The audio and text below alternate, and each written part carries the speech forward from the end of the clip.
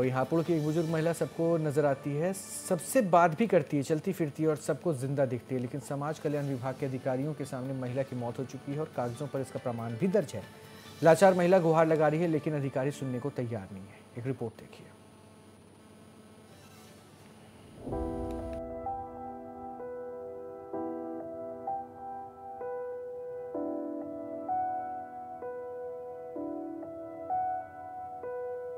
ज़िंदा होने की गुहार लगाती बुज़ुर्ग महिला। अधिकारियों को दे रही हैं अपने ज़िंदा होने का प्रमाण। डेढ़ साल से काट रही है ऑफ़िस का चक्कर। समाज कल्याण विभाग के अधिकारी नहीं सुन रहे हैं गुहार। सरकारी दस्तावेजों में भागरती देवी मृत घोषित। महिला का विधवा पेंशन भी बंद। साहब, मैं ज़िंदा हूँ। सुनिए साहब, मैं ज़िंदा हूँ। यूपी के हापुड़ की 50 साल की विधवा महिला अधिकारियों के ऑफ़िस का चक्कर लगाकर यही गुहार कर रही है। लेकिन अधिकारी हैं कि सुनते नहीं और महिला की लाचार ये है कि पिछले डेढ़ साल से इसे मृत घोषित कर पेंशन देना भी बंद कर दिया गया है। डेढ़ साल से पेंशन नहीं मिल रही। मरी हुई घोषण कर रखे हम। किन्होंने मरी भी घोषित कर रखा है अब ये तो पता ना अधिकारी ने मरी हुई लिख दी। और सुन रहे ने बीस सौ बारह चली गई।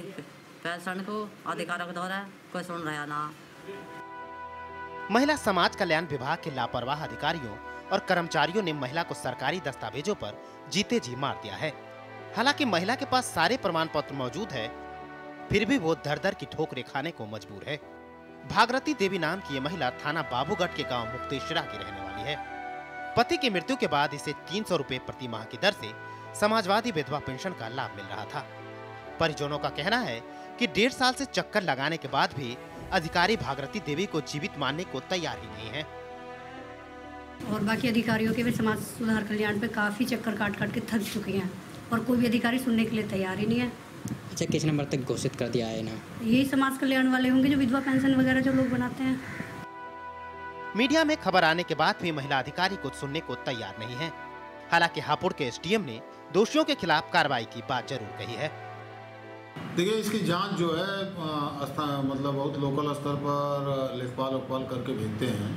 हो सकता है किसी स्तर पर त्रुटि हुई हो। इसकी जाँच के लिए जो है एसडीएम को निर्देशित कर दिया महिला मुझसे मिली थी। एसडीएम को निर्देशित कर दिया गया है। जो भी इसमें उत्तरदायी होगा, उसके विरुद्ध कड़ी कार्रवाई की जाएगी और यदि उसकी बात सत्य है तो उसकी पेंशन बहाल की जरा सोचिए एक महिला जो जीवित है और सबको नज़र आ रही है, वो कागजों में मृत कैसे हो सकती है? सवाल ये है कि आखिर अधिकारियों ने महिला को मृत घोषित क्यों किया? और क्या लापरवाह अधिकारियों को इसकी सजा मिलेगी? Satish Chaudhary, national voice Hapur.